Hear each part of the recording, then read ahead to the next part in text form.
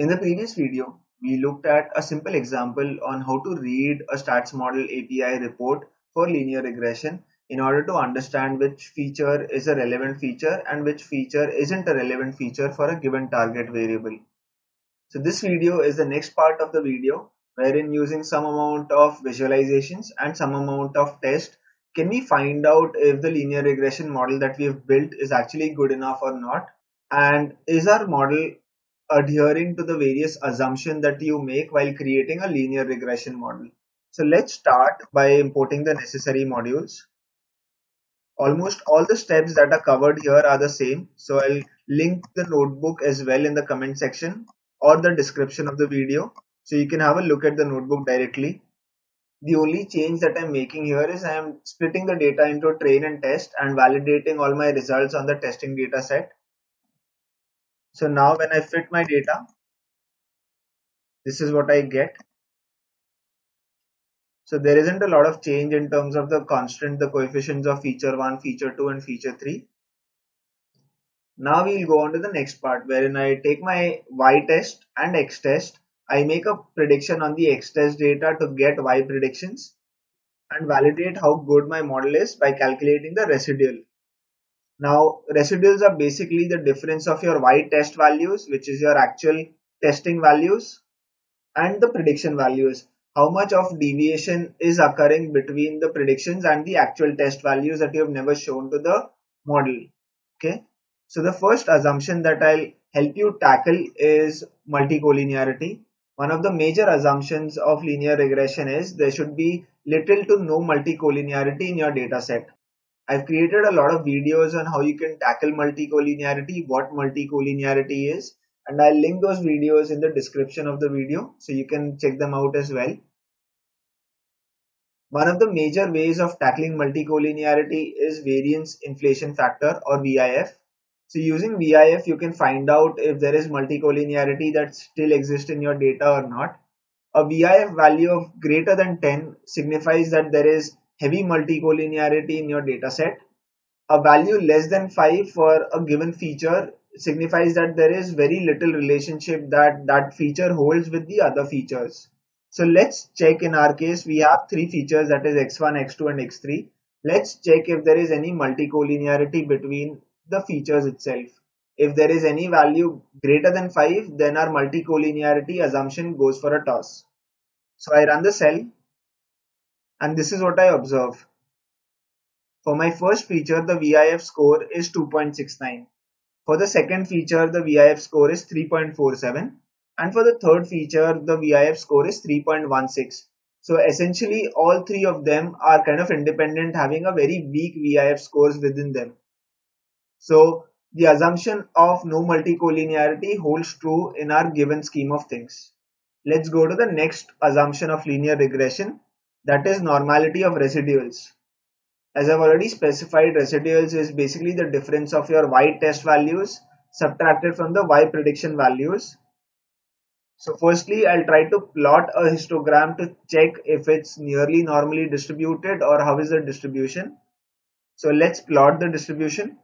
This is the plot that I observe. So the plot is near normal distribution. I wouldn't say it's entirely normal distribution, but yeah, uh, it's centered around zero, which is one of the assumptions of a normal distributions.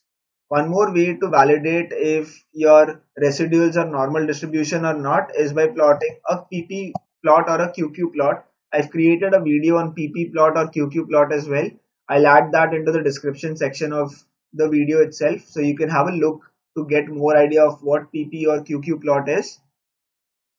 Plotting a probability plot, I can see that the observed and theoretical values fall on the same line, almost most of the values, if not all. So this gives you a clear idea that the overall distribution is near normal. If a distribution has to be near normal, then the overall mean value of the distribution should also be near zero or equal to zero. So when I find out the average value or the mean value of the distribution of residuals, this is what I observe. So the mean value is very small, which is minus 0.03. Given that I had very little samples to work with, I think a value of 0.03 to infer if it's normally distributed or not is a good enough value. based on the distributions that we've seen so far for the residual plot, it's safe enough to say that the overall distribution is near normal distribution. Let's go to the next assumption of linear regression, which is homoscedasticity or constant variance. Now, this is something that you will kind of have to visualize to find out if the overall distribution is randomly sampled or does it kind of increase with increase in change of residual values.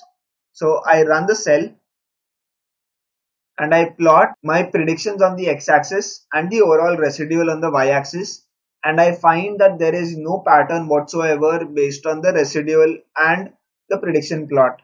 As you can see, there isn't any pattern that I can observe, be it increase in variance with respect to increase in the overall y prediction. So there's no such pattern that I observe and most of the values are centered around the zero value. If this idea is now clear, let's go on to the next assumption that is there should be absolutely no correlation of the residual values with any of its lagged versions so which is called as autocorrelation so when i plot the autocorrelation function this is what i observe so as you can see the residual with itself will have a heavy correlation which you cannot avoid every signal is autocorrelated with itself now if you observe most of the autocorrelation values none of the values cross the threshold of being significant. So the blue border that is signified here, it shows the significance level of the autocorrelation which it should cross in order to be significant in terms of autocorrelation. So there isn't any value or any peak that I observe that crosses the overall blue boundary that is there. So this was my take on how you can use various plots and various tests to find out if your linear regression model is following the assumptions of linear regression. I hope you found this informative. If you do have any questions with what we have covered in this video, then feel free to ask in the comment section below and I'll do my best to answer those. If you enjoy these tutorials and would like to support them, then the easiest way is to simply like the video and give it a thumbs up. And also it's a huge help to share these videos with anyone whom you think would find them useful. Please consider clicking the subscribe button to be notified for future videos and thank you so very much for watching the video.